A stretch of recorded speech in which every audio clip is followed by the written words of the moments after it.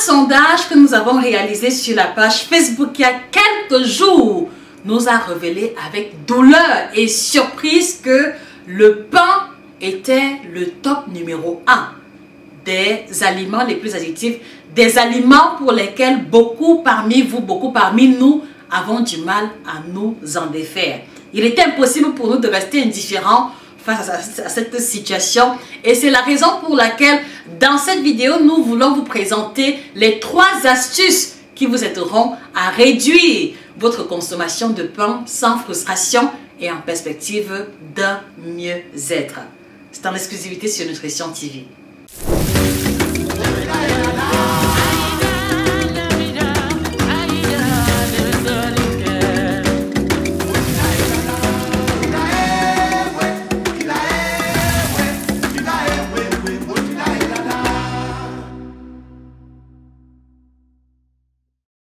Bonjour à vous, fidèles téléspectateurs, je suis heureuse de vous retrouver.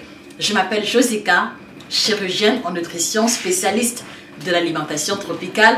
J'ai le plaisir et le bonheur de vous présenter la collection des 7 ouvrages que nous avons à notre actif et pour laquelle nous vous invitons à vous procurer sur Amazon, à la FNAC et chez nos représentants. Alors, comment se défaire du pain, d'accord, lorsqu'on le mange le matin euh, au petit déjeuner, lorsqu'on l'accompagne parfois à midi comme complément, d'accord? Ou alors lorsqu'on le prend rapidement comme dîner le soir parce qu'il n'y a pas assez de temps pour cuisiner. C'est une équation fort difficile à résoudre, mais nous allons pouvoir réussir l'exploit cette matinée. Alors le premier élément qu'il faut comprendre, c'est pourquoi est-ce que, d'accord, on éprouve autant de besoin de manger plus de pain, on éprouve autant de besoin de manger plus régulièrement le pain? L'information capitale qu'il faut retenir, c'est que le pain est un aliment raffiné.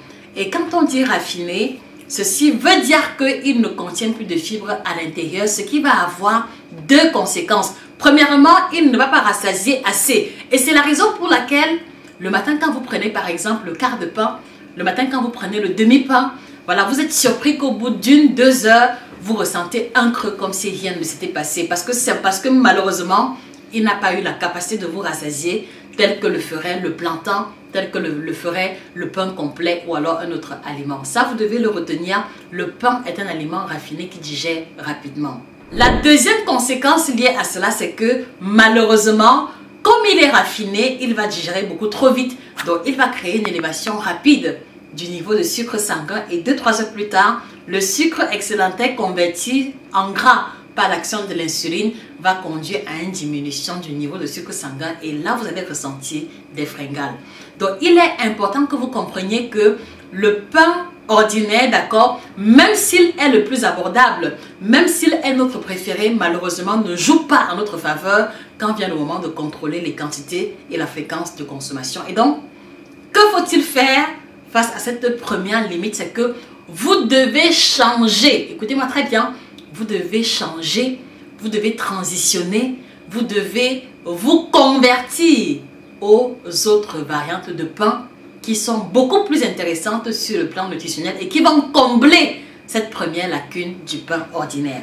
Donc, en gros, ou alors première étape, on va laisser le pain blanc, on va laisser la baguette, on va laisser le pain de mie, on va laisser le pain viennois, on va laisser la brioche, on va laisser toute cette série de pains à base de farine de blé raffiné pour nous tourner, d'accord, vers le pain noir, vers le pain complet, vers le pain à l'avoine, vers le pain de son, vers le pain aux céréales. Bref, on va se tourner vers ces variantes de pain qui vont nous garantir un apport plus élevé en fibres et donc aussi un apport plus élevé en minéraux et en nutriments.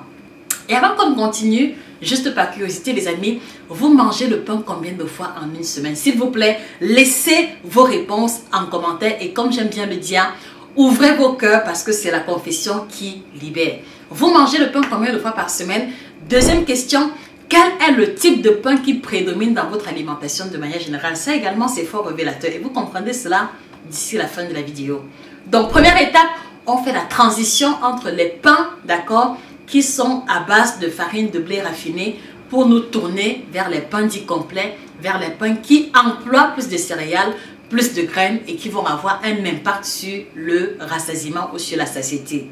Deuxième astuce, si on veut réussir à moins manger un aliment, ceci veut dire que dans notre environnement immédiat, on doit également moins souvent trouver l'aliment en question. Qu'est-ce que cela veut dire? Cela veut dire que si vous voulez manger moins de pain, vous devez vous arranger à ce qu'il y ait le moins souvent de pain possible à la maison. Et la question que je vais vous poser, les amis, en toute sincérité, d'accord? Est-ce que dans votre congélateur, il n'y a pas des stores de pain à l'intérieur?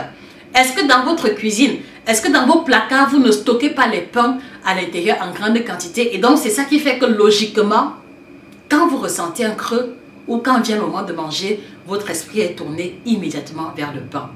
Donc, deuxième étape, on va réduire le stock de pain à la maison et on va s'arranger, d'accord, à n'avoir à la maison que la quantité de pain nécessaire. Je le dis parce que au Cameroun, par exemple, je m'étais rendu compte que il y a des familles où il y a trois personnes, mais qui font l'effort de payer 10 pains pour l'équivalent de deux jours. Et même lorsque le stock ancien est encore là, on, on en achète encore. La conséquence logique, c'est que les enfants ou alors tous ceux qui sont dans la maison, au moins de creux, c'est le pain qu'on va tartiner avec le beurre, avec le chocolat. Et même lorsqu'on a cuisiné un plat, d'accord, il y a toujours la tendance de vouloir associer le pain au riz sauce tomate, associer le pain aux pommes sautées, associer le pain, d'accord, aux spaghettis sautés, ce qui est une erreur monumentale. Donc faites l'effort, faites l'effort de n'acheter ou de n'avoir à la maison que la quantité de pain nécessaire. Et ceci fera que, une fois le petit déjeuner terminé, quand le stock de pain est épuisé, même si vous en avez encore envie, il n'y en a pas. Et donc, ceci aidera à réguler, ceci aidera à réduire la fréquence et aussi la quantité de consommation.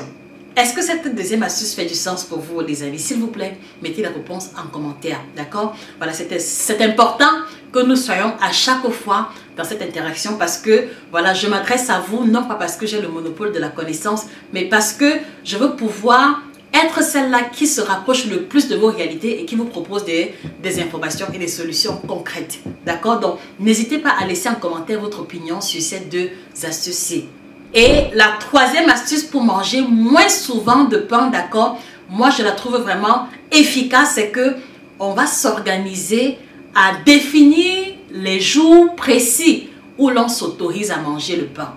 Qu'est-ce que cela veut dire? Cela veut dire que je suis Jeanne, je suis Paul, je suis Robert, je suis Cynthia, d'accord? J'ai des kilos à perdre ou alors je fais attention à ma ligne et je sais que je suis très sensible au pain une fois que je le vois. Donc je vais m'arranger par exemple du lundi au vendredi à manger autre chose au petit déjeuner, au repas de midi et du soir et je m'autorise à manger le pain uniquement le samedi et le dimanche avec des proportions bien définies. Donc ceci va m'éviter la frustration, Ceci va m'aider à prendre vraiment beaucoup de plaisir à manger le pain quand ça arrive. Mais ceci va aussi m'aider, d'accord, à avancer vers mes objectifs, à ne pas faire capoter mon régime, à ne pas gâcher mes efforts de, de régime à cause d'un écart ou à cause d'une surconsommation élevée de pain. Et je vous garantis que en mettant en pratique les trois astuces en question, d'accord, vous allez réussir à réduire votre consommation de pain, vous allez avoir une meilleure digestion, vous allez avoir une meilleure santé, une meilleure vitalité, d'accord, avec la transition euh, au niveau des types de pain et vous allez pouvoir continuer de perdre le poids, continuer d'avoir le ventre plat tout en vous faisant plaisir et c'est vraiment l'objectif que nous visions à travers cette vidéo.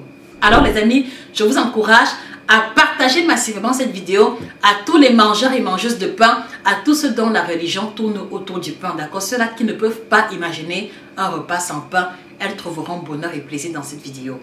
J'ai été heureuse de partager avec vous. Je vous encourage, d'accord, à vous procurer le kit détox bio, d'accord, qui apparaît à l'écran que vous trouverez chez nos représentants et ainsi que la gamme entière des produits qui défilent au bas de l'écran. C'était Josica, votre passionnante d'alimentation spécialiste de l'alimentation tropicale. Merci pour votre attention. Excellente journée à vous et que le bien-être vous accompagne définitivement. Au revoir.